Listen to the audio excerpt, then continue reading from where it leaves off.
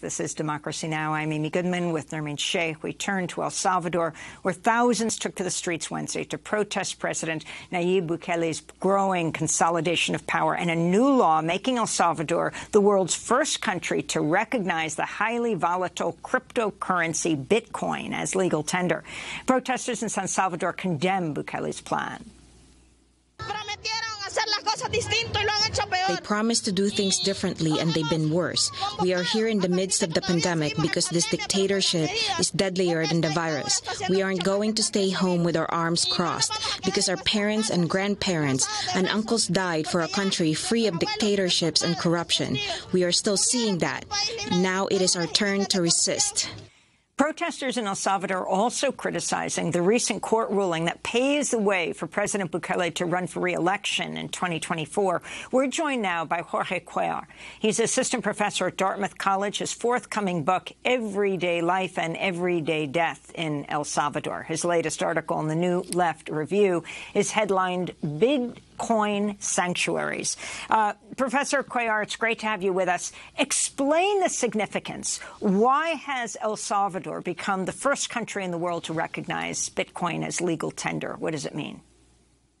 So the turn to Bitcoin, Amy, is actually quite a surprise to a lot of us. There's no reason why Bitcoin should be at the top of the government agenda in a moment of pandemic, of water stress, of food insecurity, of depressed wages.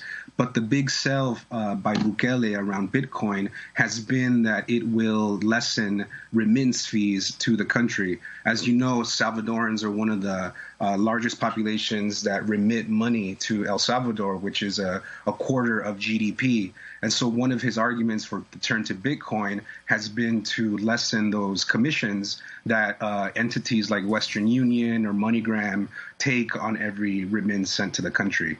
Um, but as you can see, people are very suspicious of this. And in fact, it's been shown that those remittance uh, commissions are actually higher in Bitcoin than they are with traditional uh, wire transfer services.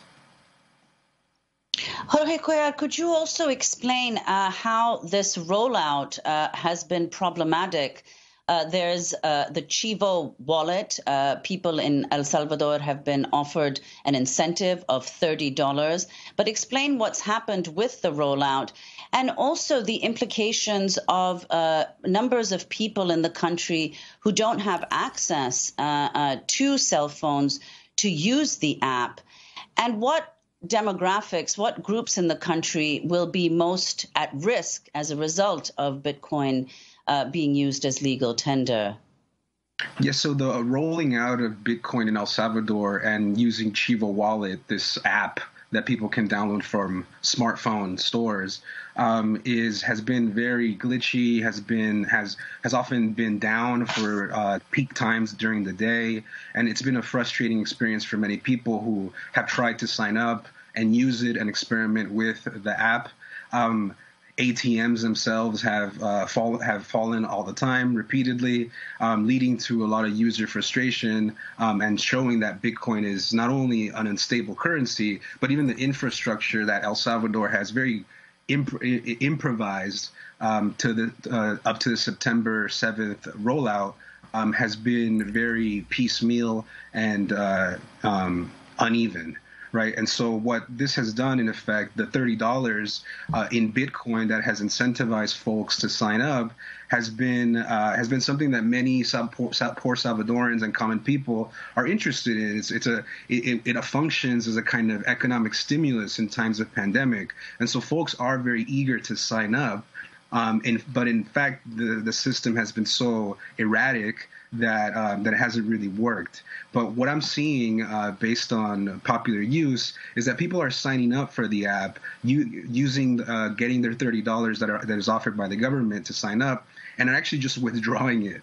And so they're withdrawing it into U.S. dollars and going out to the restaurant and getting some food, buying some groceries, and actually just leaving the app to the side because again the recurrent suspicion of, of, of Bitcoin and, and Chivo Wallet, which is shrouded in so much ambiguity um, and lack of uh, educational campaigns by the government to really tell people what Bitcoin is, what it means, how it impacts daily life. Um, and how it sort of uh, intersects with daily activity. Um, and this has been uh, one of the most challenging, or one of the most challenged uh, sites where the social movements have have drawn attention to Bitcoin as being more of a ploy for uh, supporting uh, illicit accumulation, narco money, money laundering, um, and for, for foreign investors who are pr- the primary audience of Bitcoin. Um, uh, to come into the country and invest and and transform this kind of monopoly immaterial money into real estate, into business, um, into other forms of, of currency and wealth um, that is inaccessible in general to uh, the common Salvadoran person. Jorge, what are the environmental implications of Bitcoin, and how does it fit into the right-wing philosophy of President Bukele as he tries to consolidate power?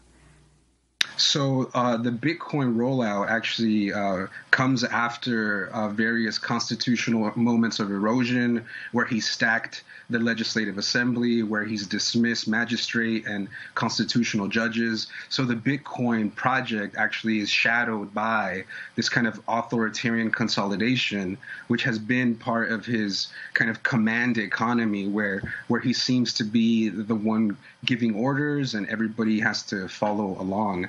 Um, but in terms of the environmental environmental implications of Bitcoin, it it operates through uh, uh, through computers and through high energy use. And so one of the one of the big pitches that Bukele made initially to foreign investors to come and uh, bring their Bitcoin to El Salvador was that they would offer cheap energy. And this cheap energy, Bukele claimed, was going to come from volcanic geothermal uh, uh, uh, sites that he hopes to build around the country's volcanoes. Already, geothermal is used in El Salvador in very uh, uh, uneven ways, but uh, he's he's trying to ramp this up, and and and this will have you know environmental impacts in the country in, in a place that's extremely deforested, is living through um, high levels of water stress, um, and uh, and and is part of the question of food scarcity that often drives things like migration. So Bitcoin is at the at the heart of uh, uh, ecological concerns for El Salvador. We want to thank you for being with us, Jorge Cuellar, assistant professor at Dartmouth College. We'll link to your article in the New Left Review headlined, headlined Bitcoin Sanctuaries, his forthcoming book, Everyday Life and Everyday Death in El Salvador.